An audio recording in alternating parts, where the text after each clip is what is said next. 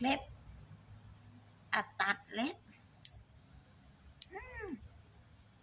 ทำไมเราตัดถ้าไม่โดนเนื้อทำไมมันไม่เจ็บ ก็เล็บ มันไม่มี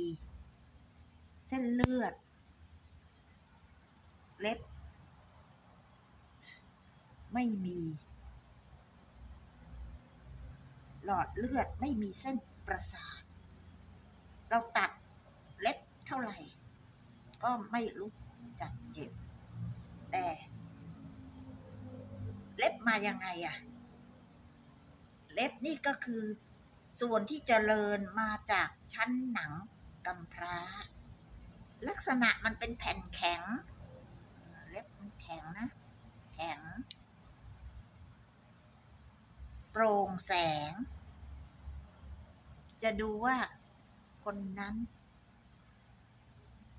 เลือดลมดีไม่ดี ก็ดูที่เล็บได้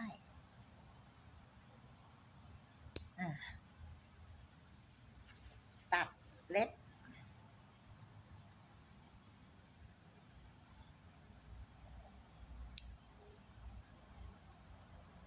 เราต้องตัดในที่ส่วนตัว จะไปตัดในที่สาธารณะ มันเสียงดัง แล้วก็ถือว่าเป็น มารยาทที่มันไม่ดี แล้วทำไมต้องตัดอะ มันยาว มันยาวไม่พอ แล้วมันเป็นที่สะสม เชื้อโรค ด้วย ถ้าเราไม่ตัด เราจะเอาไว้เล็บยาว ก็ได้ แต่ต้องดูแล ไม่ให้มี เขาเรียกว่า ขี้เล็บ ขี้เล็บ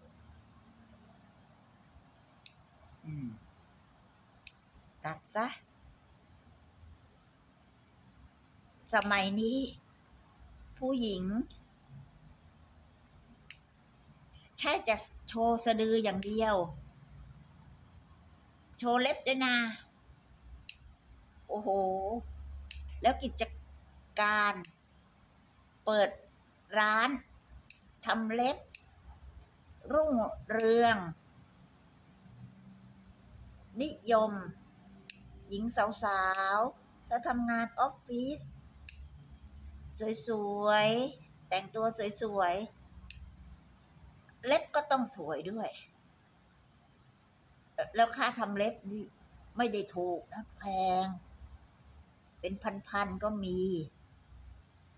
มีการต่อเล็บด้วย แต่มือนี้ เล็บ ไม่แข็ง ไม่ ไม่แข็งพอที่จะเอาไว้เล็บได้ หรือจะไปทาเล็บก็ไม่ได้ แสดงว่าเป็นคน กระดูกไม่ค่อยจะดี แคลเซียมน้อย เล็บมันจะอ่อน แล้วสังเกตส่วนหนึ่ง สมมุติถ้าเราทำงานมากๆ ใช้แรงมากๆ มันก็ทำให้เล็บของเราแข็งแรง ถ้าทำงานน้อยๆ เบาๆ เล็บมันอ่อนเลย